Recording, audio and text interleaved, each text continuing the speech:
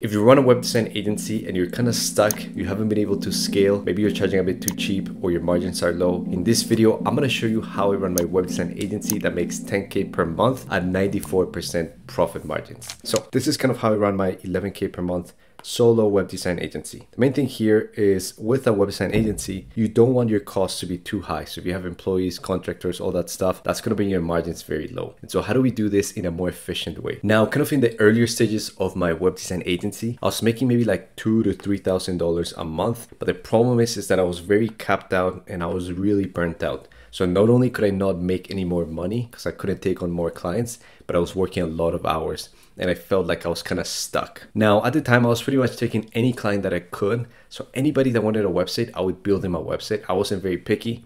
And let's say they had a small budget, I would still work with them. I was just trying to get as many clients as I could so that I could hopefully make more money. And so I was pretty much taking any client at the time and of course, I was doing all the fulfillment myself. And kind of the way I was running the agency is 70% of my time I was spending like actually doing fulfillment, so building the websites, doing client communication, all that stuff. And then maybe about 30% of the time, the only time that I had left, I was spending kind of marketing and trying to get new business. And so what ended up happening is because I was taking any type of client that would come through the door, every project was very hands-on and it was taking a lot of time to do fulfillment. So if you think about it, like I was building a website, probably take me like two to maybe three weeks to get it done. And because I wasn't specialized, I was charging very cheap. So 500 bucks, a thousand bucks. And so scaling is really hard. Once you take on a couple of those big clients, I was pretty much capped out. So 2000, maybe 2500 bucks a month. Now, another big problem that I faced in the beginning is because I was just trying to get business, I would take on any client on any sort of platform. And so I've actually built websites on Square. I think they call it Square Up I build website on Squarespace. The type of websites that I'm good at building is kind of like service type of websites, like landscaping, HVAC, those kind of stuff. But one of the clients reached out to me through a referral and they wanted a Shopify website. And at the time I was just trying to get clients, even though I'm not really good at building Shopify websites, I still agreed to it. Eventually the deal didn't go through, but I was pretty much down to take whatever sort of client. Squarespace, Square Up, Shopify, also Go High Level at the time I was building with Go High Level. And so I was just building on whatever platform, whatever type of client that I could get, even like whatever type of budget. So if somebody had like 300 bucks, I would try to make it work 500 bucks. I'll do whatever it took. And so I did this for a little while, but the problem is I couldn't keep scaling, and that's kind of when I burnt out. I was kind of operating all by myself, and I was pretty much keeping most of the money, like 90 plus percent profit margin. The only thing that I was spending is maybe like a bit of software, the emails, my domains, that kind of stuff. But honestly, I was operating pretty much at 100% profit. Now, at this point, I was pretty capped out, and I just didn't know what to do to keep scaling. But the only thing that came to mind is Maybe I'm just so capped out that I need somebody else to help me do fulfillment. And so what I thought at the time is I'm gonna bring a team member, which in reality was just a contractor, to help me do some of the websites so that I could take on more projects and make more money. And so this is kind of where I started making a little bit more, like maybe three to four K a month. And this is when I hired my first employee, which was just a contractor. He was really good at building websites. He was very skilled. But at this point, I hadn't realized that one of the problems that I had is that I was taking any sort of client, different budgets, very different niches. And so every project was very hands on, building from scratch, doing a lot of client communication, doing a lot of revisions, taking off very different types of clients that needed very different types of websites. And so the strategy here was I was gonna take half of the clients and then the other half I would give them to my contractor so he could help me build them. And of course, I would have to pay them, but I could take on more websites now. And so at the time, I was doing about 50% of the fulfillment myself, and the other 50, my contractor was helping me out. Now, the thing that ended up happening is yes, I was able to get more clients. Now I had a contractor, I had a bit of leverage, but the problem was is that I started operating at like 60% profit margins as opposed to like 90 plus. So the reason why is if you think about it, like let's say I was charging like a thousand bucks for a website, I had to pay my contractor at least 40 to 50% because of the nature of web design. Like building websites takes a lot of time. We're taking all kinds of different niches. These clients had a lot of requests, revisions, all that stuff. Building a website that takes you one or two weeks you're not going to do it for anything cheaper than maybe four or 500 bucks if you're a contractor, because that's just literally your time. You're putting in like five hours a day, six hours a day for like five days, six days, seven days to do fulfillment. You can't charge anything cheaper than 500 bucks. And so for me, I was keeping, let's say 50% of the $1,000, maybe on the higher end 60%, but my margins just completely dropped. So sure, if you compare like this to this, like I was making two to three K a month, now I'll make a bit more, three to four K, but my margins tanked. I had way more clients, way more headaches, way more communication. Now I have to handle a contractor as well, deal with the communication on that end as well, and my margins completely dropped. And so this is kind of where I started doing things differently. I started operating solo once again, but I started deploying leverage. And I explain in a second what I mean by that and how I was able to do it. But one of the big changes that I did is I simplified my services. And so at the time I was thinking like all sort of clients, like if somebody came with Shopify website, I would build it. Right now, like I wouldn't take e-commerce websites because that's just not my specialty. That's not what I'm good at. And so I kind of niched down I specialized, I picked a few service niches, service based businesses that I could actually help out and that I was actually good at. And so I started only taking clients that I knew how to fulfill with ease. So this is a big thing right here. And so what this meant was like a few niches. Now I started deploying leverage and I'll explain in a second kind of what this means because this was the key. I started actually deploying leverage with my services and I started charging more. And how I started charging more is because now I was specialized. So because I wasn't helping just anybody looking for a website, I could become more specialized and charge a bit more. I niched down on a few service niches and I was charging more. And so what that led is I brought my margins back up because I didn't have team members, I didn't have contractors, I didn't have any of that stuff. So my profit margins went back up to 94%. I was keeping most of the money myself. And now I started doing more marketing so I can get more clients and I was only building about 30% of the time that I was spending on the business. So about 65% of the time I was marketing and then 35% of the time I was just actually building and I was actually doing service delivery. And so that's kind of how I reached 11k per month. Now I'm to explain what that actually looked like and how I deployed leverage, how I specialized all that stuff. So the main thing that I wanted to fix when I was kind of stuck in between these two stages is my contractor was very expensive. And so the nature with web design is kind of tricky because if you're building websites, it takes time and time, like you can only charge so little on your time. If you're a contractor, if you're a fulfillment agency. So if you think about it, like for every website that I sell, I have to lose 50% of my margin on it just on fulfillment. That's just not a sustainable business. So what I realized is I have to figure out to charge the same amount of money, but be able to do fulfillment very quickly without needing a contractor so that I can keep up and get more clients. And so how I did it is I found a way to leverage certain aspects of my service delivery. So one of the big ones is I realized that building on Go High Level, while the editor is not great, it's not perfect, you know, Squarespace, there's a lot of like really cool editors, but the problem with those editors is you can't really like clone websites, deploy them to different sub accounts, none of that stuff. And so what I realized with Go High Level, we had an edge. Go High Level, I could deploy a website to a client, I could clone it, keep a master version to myself, I could clone it to another client, quickly edit it, and so that gave us leverage.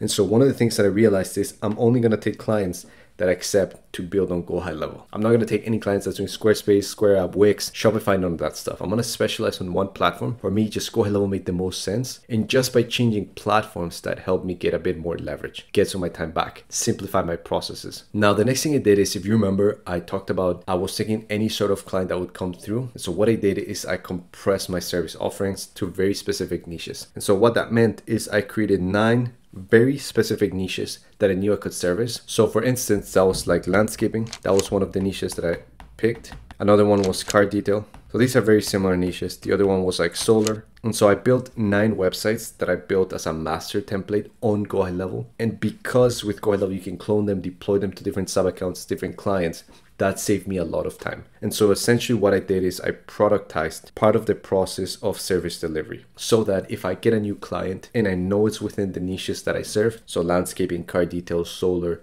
like maybe like a restaurant, that kind of stuff, I can just grab one of my templates and deploy it to that client very quickly edit it myself on the back end, but it's going to be much quicker than if I just grab like a random niche, like let's say e-commerce for sunglasses that I've never built a website for that before. I'm going to have to build everything from scratch. With this, the cool thing is I knew the type of clients that I was going after. I knew the type of clients that I could service.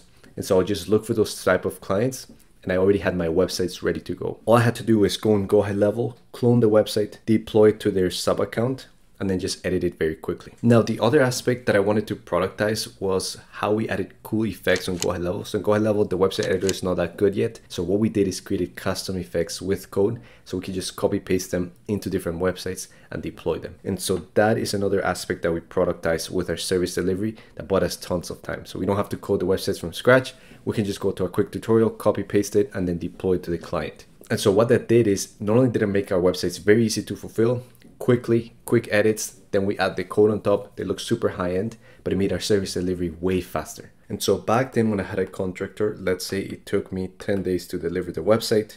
This was with a contractor. Now it took me maybe three to five days on the high end by myself. But the thing is here, I was keeping about 50% of the profit. Here, I was keeping about 94% of the profit. So not only was it faster, but I was keeping more of the profit for myself. And so I was able to take on more clients that are easier to fulfill that I could keep most of the profit for myself without needing to hire a contractor. That's kind of what is cool about running a website agency when you have leverage is that it simplifies your service delivery. Is I was able to deliver websites honestly within 24 hours, maybe three to four, maybe five days on the high end. And these were websites that were way easier to fulfill. The other thing is now I kind of sell and then I deploy the website as opposed to before I was selling the website and then I was building from scratch, doing the service delivery and taking me like two to three weeks.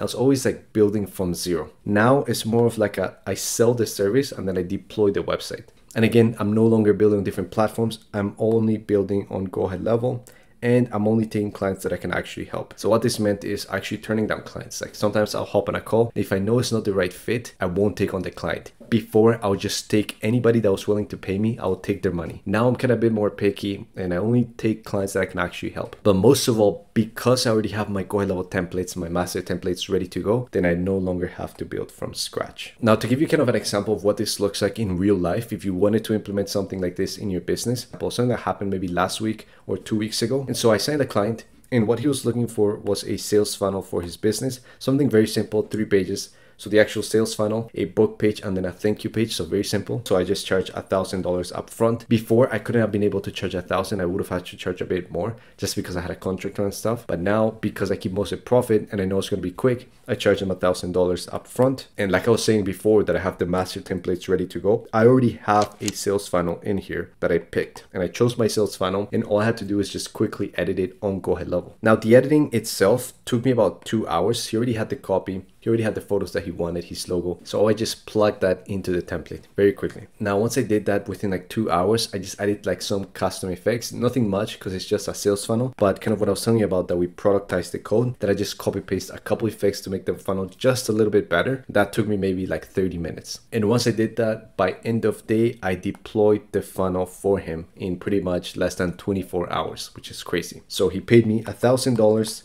and I deployed this in 24 hours. And this was just done by productizing the service delivery, just helping myself out so that I don't have to build this funnel from scratch. I already have the funnel ready to go. I have the three steps ready to go. So homepage, booking page, thank you page. And all I have to do is just quickly change the text, add a bit of code, swap the graphics, put his logo, and that's it. So right now, I assume if you're watching this video, you're already running your agency on Go High Level. So what I would do if I was you, if you're running a web design agency or you have web design as one of your services, one of your upsells, is just build your own master templates so you never have to build from scratch.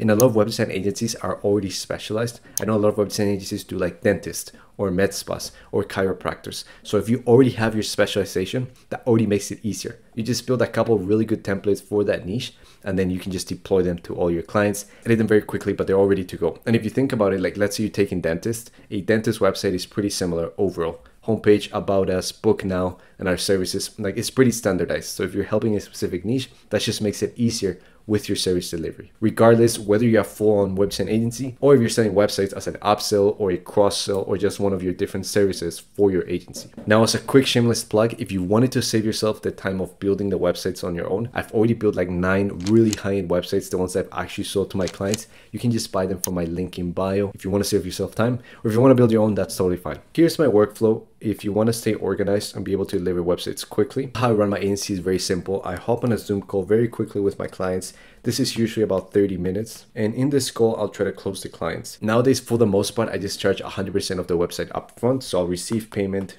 right here.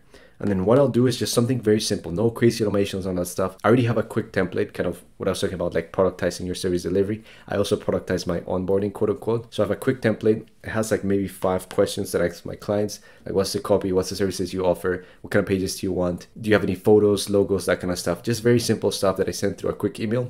And then my client will just reply to that email with everything that I need. And then I'll do what I just talked about, which is deploy the template, edit it very quickly, add the code, add the stuff that I received from this email. So the copy, the logos, the branding, the colors, that stuff. And then I'll send it over for revisions. With revisions, usually takes about a day or two, kind of depending on how quickly the client works with me. What I'll do is I'll just send them a quick Loom video and the link to the preview of the website so they can check out the website, take a look. Anything they don't like, anything, any photos they want to change, any copy they want to change, then they'll just let me know and there we go. That's it. Now this could take one to maybe three days. And on the high end, this could be five days, depending on, usually this stage is what takes the longest is revisions. So if the client's a little bit more picky, they want more revisions, then it could take a couple days. For the most part, we're aiming between three to four days to deliver the websites like fully done. But there it is. That's how I run my 10K plus agency with Go High Level at 94% profit margins. And if you want to do the same thing, you want to start selling websites to your Go High Level clients, then just click the first link in bio and you can get all of my templates, these master templates that took me months to build out,